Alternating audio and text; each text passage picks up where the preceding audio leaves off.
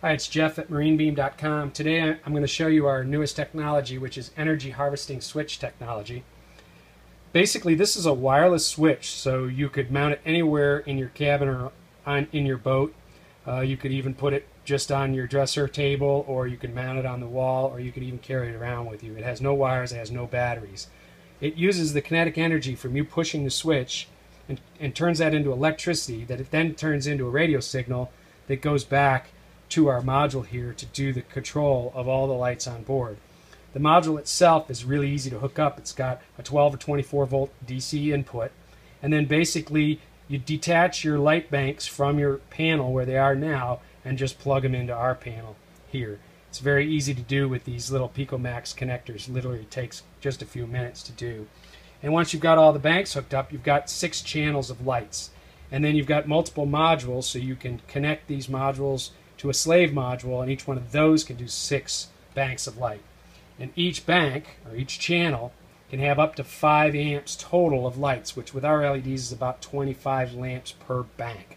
So you notice we can get to several hundred lights, and we can do up to 128 switches. These switches are cool in that they're addressable, and you can change their personality. So basically, through a very quick learning routine, we can tell this switch which banks of lights it needs to turn on and off, and we can also have the switch turn on multiple banks, which you can't do with a standard switch without completely rewiring. So this thing's really great for uh, current boats. It's also great for new boats or refurbishments of old boats where you're upgrading the lighting system. So let me just really show you how quickly and easily you can program this. Basically, the first thing you do is you go to the clear mode when you start up, and it basically clears out the memory and tells you, okay, I'm ready to program switch number one or bank number one. So in this case, I only need to tell it two things. I need to tell it which switch I want on, and I'm going to say the top one is on, top left. I'm going to say the bottom one is off. So it's responded and it's back blinking saying I've learned that mode. So now I'm going to go to the next bank of lights, and you see I've got two lights here to simulate multiple lights in your system that would be on one bank. And in this case, I'm going to tell it I want this right switch to be on the top and bottom to be off. And now it's blinking telling me I've learned that. Now I don't have any more lights on this demo so I'm going to go through all six channels by pressing this button seven times.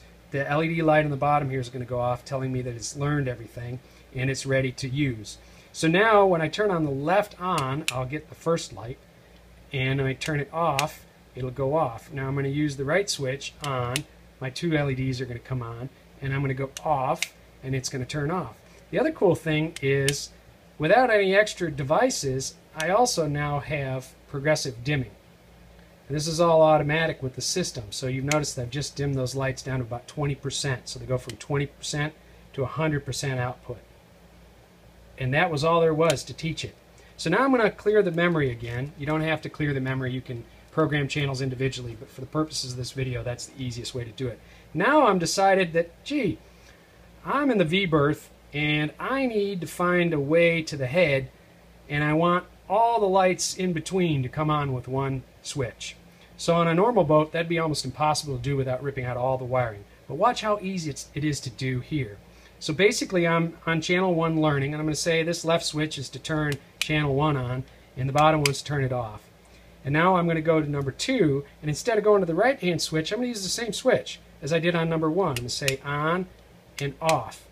And now I'm going to cycle back through the channels and I'm going to end the learning mode. And what's cool now is now I have on my bedside table a lamp that will find my way to the head because now I've got multiple banks of lights turning on with just this one switch and I taught it that in just a minute. Um, and the best part is I still have my dimming and my on off everything's ready to go. So I could do up to six channels that way. In fact, I could do six channels plus six channels plus six channels, etc., etc., as long as I had more slave modules. So it's a pretty cool system, and um, it's very easy to program, as you've seen. Um, there's a lot more to it, including CAN communication to other modules, uh, all sorts of things that you can find out about in future videos. Uh, appreciate you watching, and take care. Thanks.